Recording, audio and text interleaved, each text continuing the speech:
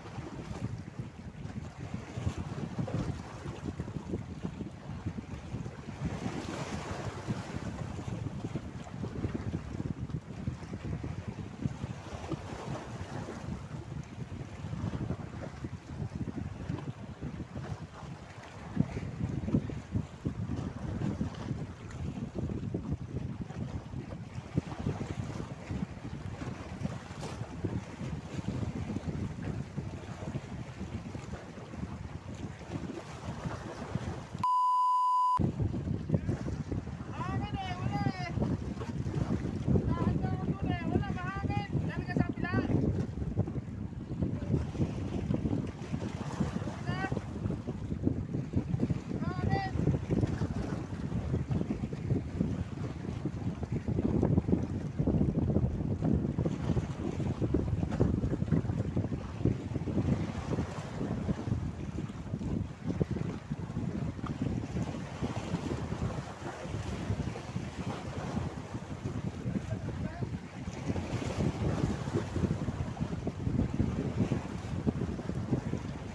A few inches later. So ayan, lumipat tayo dahil ah, wala lang, lumipat tayo kasi dumating si Master Kabigwet doon, no? You know?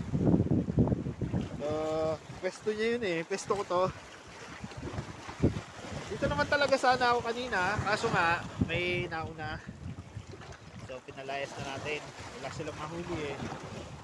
Umalis na. Tara, tara.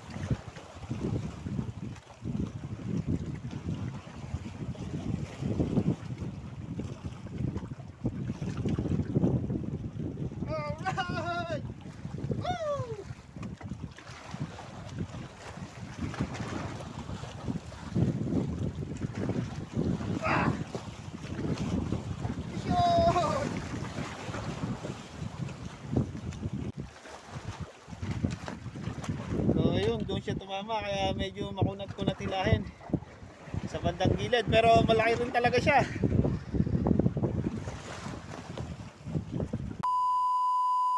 So ayan mga kasama, nakahuli na naman tayo. Isa kasi mahangin dito ngayon sa Delma. So nagtyaga lang tayo. So ganoon naman talaga, tyaga-tyaga lang. Isa pero isa. So ayan, timbangin natin. Zero zero.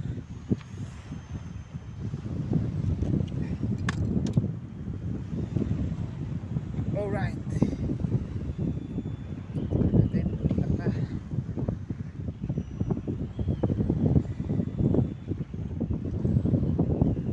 O yan. 4.950. So yun. Halos 5 kilo na rin.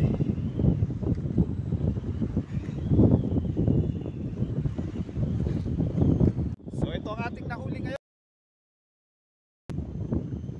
5 kilo kingfish.